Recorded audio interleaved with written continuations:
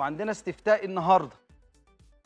إحنا مع المدير الفني الوطني سواء للأندية ولا للمنتخبات.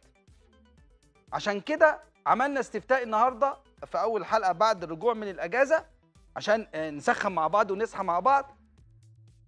من ترشح لقيادة النادي الأهلي في الإدارة الفنية؟ كابتن محمد يوسف ولا كابتن عماد النحاس ولا كابتن علي ماهر؟ مالهم دول الثلاثه مالهم الثلاثه ما ندي فرصة للناس دي. إحنا ادينا فرصة لكارتيرون ما عملش حاجة. لاسارتي ما كانش فيه عليه إجماع. ما ادي فرصة للشباب دول. ماله كابتن عماد النحاس؟ كسب الأهلي.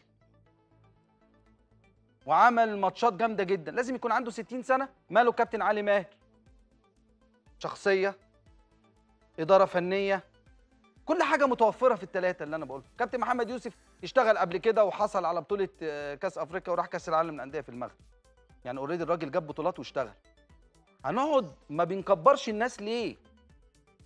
ده أنت على الأقل محدش هيحاسبك الحساب لما تجيب مدير فني أجنبي آه، ويفشل. لو جبت واحد من الثلاثه دولت ممكن ربنا آه، يكرمك عشانهم. ويبقى مكسب مش للنادي الأهلي للكرة المصرية. ماله كابتن عماد النحاس؟ ماله الكابتن علي ماهر؟ ماله الكابتن محمد يوسف؟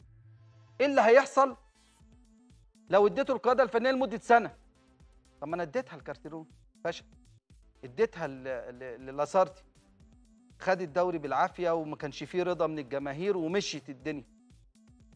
والناس ما كانتش راضية من أول من بعد صن داونز والخمسة صفر ما حدش كان راضي بالموضوع. كان مسألة وقت. كلنا كنا عارفين وأنا قلت هنا أكتر من مرة. كار... آه، لاسارتي ماشي ماشي. وقلت قبل كده كارتيرون ماشي ماشي. طب إيه اللي هيحصل إن أنا أخلي كابتن علي ماهر مدير فني؟ هتحسب ليا والله. مش عليك ابدا.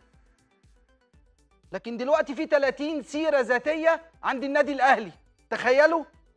ده ألافات الدولارات. الراجل لاسارتي هو ماشي واخد 240 ألف دولار. الفلوس دي إيه؟ الفلوس دي إيه؟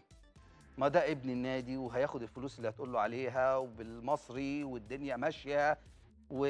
وحتى لو حصل لا قدر الله حاجة تكبرته.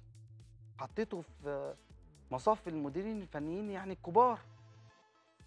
ومحدش هيحاسبك الحساب الكبير قوي لما تجيب مدير فني أجنبي ويحصل حاجة لأن بتدفع له ملايين.